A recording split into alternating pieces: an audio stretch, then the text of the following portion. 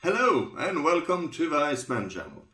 Today I'm gonna talk about the most popular card in the world.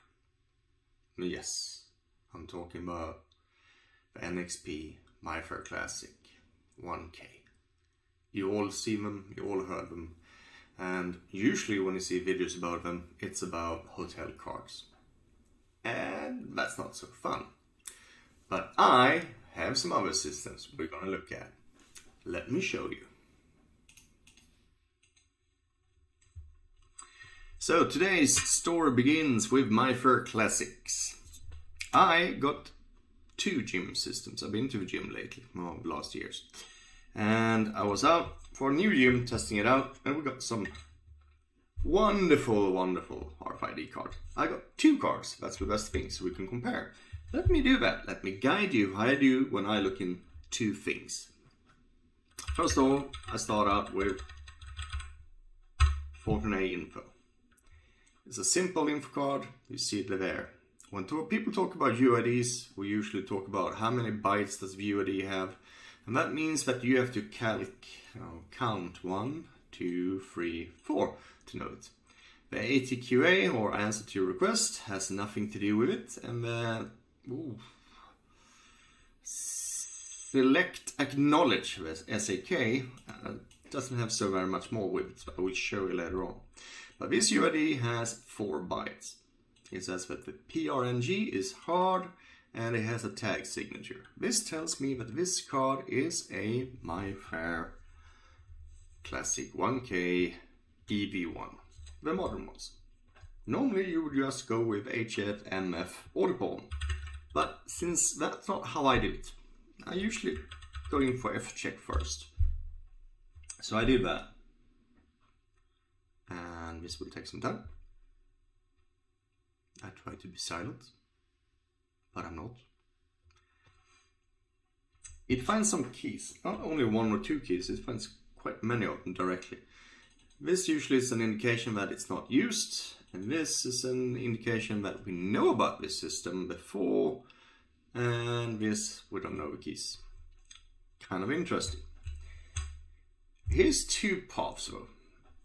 I will normally just swap out the card, go into Fortnite Info again, look at the new one, see it's an EV1. Looking at that UID, it ends with 64 and so does this. So it has kind of overlaps there, even if a decimal number doesn't match up. But in my world, hexadecimal numbers are more interesting. So the nibbles here kind of match up with the new one here. Uh, that will tell me that the UIDs or ranges is not so far from each other, but doesn't mean too much. If I run F check on this one as well, because I want to compare, let's see what happens. We can deduce if there was a key diversification function or a keygen algo. Static key here, static key there. Same sectors, same card, same system. All right, cool. I will now go, when I look at this and go like, huh, so where, where does this key belong? And for that, I need to go out of uh, client and then I take the rip grep and C5 versus some columns. I want to see key and I want to go and search it in the dictionaries. The keys default and it shows that it's a for gym, the found key here, and there's an A key, so does us, there's also an A key. And here's a B key. Okay, so there's a B key. Okay, interesting. Let's go back into this because that's tell for us then that I should run this with the default keys dictionary. Let me do that first.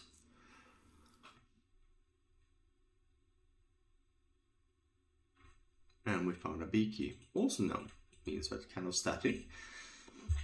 I see that I run it against the next card, I swap the cards out.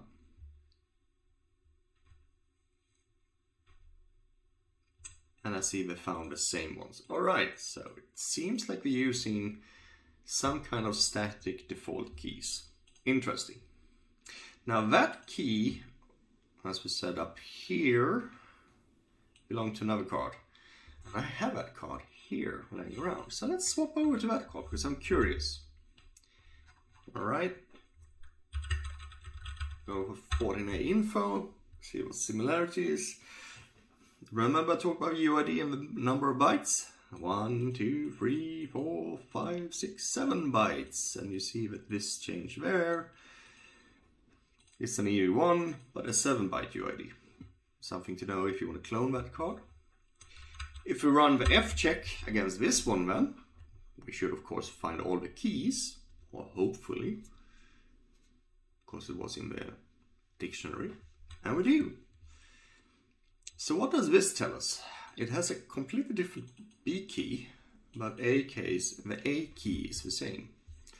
Well, for me, it would be an indication that this is from the same gym administration system. Those two different gym chains, completely different. This is not at all the same ones, it's completely different. Big ones. They use the same system uh, to handle uh, uh, passage or uh, entries, gates, bookings and stuff like that, locks. And that this key could be site specific or customer specific. I haven't tried different keys from different gyms, but I think it should be just customer based, but who knows? It's quite interesting. With that knowledge, I swap back to the first one, and now I do run the magic autopawn because I like to get the dump files out, and I don't want to run anything else. I'm just going to do with the default keys as well, because I don't want to break any keys, because we can find all the keys, we can just do like this. Dumping goes quite fast.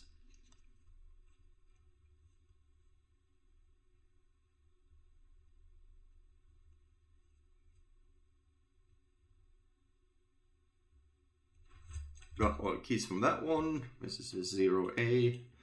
I swap out the card again for our next one. Run out pawn again because I want to dump all these cards now. That's what I want to do. I'm gonna have a look at it. Gonna have a look see.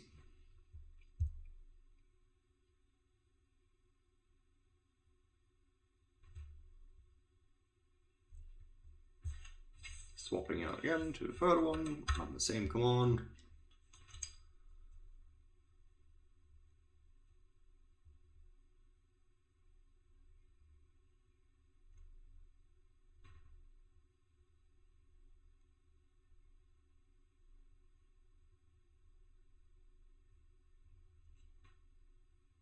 We've got all of our members out. Now what? What can we do? Well, there is a nifty little command called data diff. And I want to start looking at the first two files that were saved. And that was this, and one was the 4A, that would be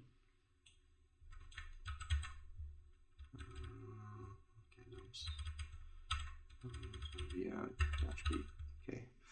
Dash A, dash B. Let's see. Alright, that worked. Okay, so this is the two black cards compared to each other, right? That's what we're looking. UID is a little bit different, of course. And it's not very much different. It's two sectors. One sector and there's another sector here that has some data on it. This looks to be a copy of that one and this looks to be a copy of that one. So this seems to be like a backup. So it either an alternative write on this sector and then it writes on that sector and this like, you know, keeping trail of the last time you entry. If you compare it to the other system here, just some parts changes and this one as well completely. So this could be an, I don't know what it is. However, this is interesting. This thing here the end. The same thing here and here. Same data, same thing. So I'm gonna do this. I'm gonna I have a sneaky suspicion. Let's see what we can do about it. Analyze, analyze, LC, oops, LCR. data. and yes. Moving spaces takes some time. 2D. 2D.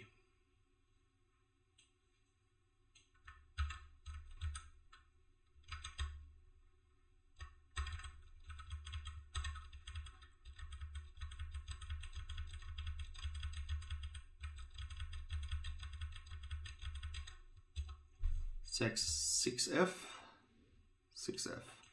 All right, so this is an LCR of this data here. That's like a simple checksum to make sure that this is not you know, broken in communications. Somehow I get a sneak suspicion that this one is also done. Let's check it out. This is when you go for a hunch, you know, a gut feeling.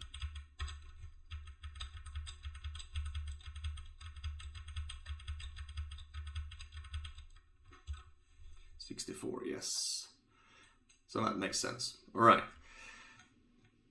So this data here is LCRs of these values here. These three sectors um, seems to be kind of similar to these ones. And that goes for these ones here. So how does this compare against the other one? Uh, what was that one again? Uh, mm -mm -mm.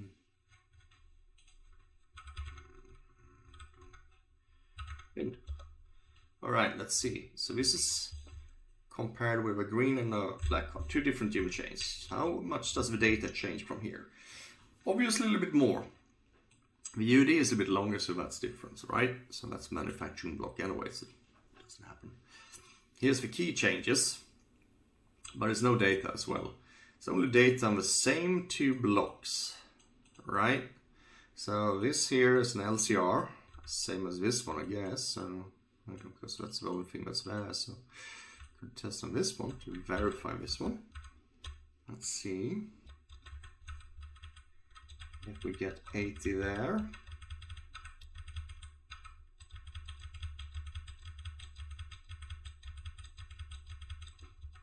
Eighty, yes.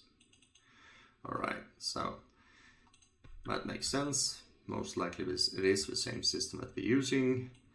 This one here is completely different. Yes, there's no zeros in here and same thing here. So that looks encrypted. That looks like encrypted data or timestamps. However, remember that the first block didn't change between the two different ones, but they are compared to the other system, it's changed. I'm pretty sure that would this would be location or customer ID or something like that keep track of. Let me see what this is. I'm just gonna have a... Yeah, let's see. 88. No, that doesn't make sense, so it's not bad. Okay, cool. So let's check some for that one. Kind of looks like that, but yeah, it's not. So this changes. Interesting. And they don't seem to be using that one either, so I won't enter that much.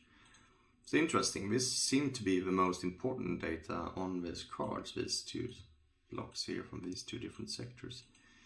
While this one seemed to have some updates here. There's a time limit on this one maybe, could be that one. I only had them for a month.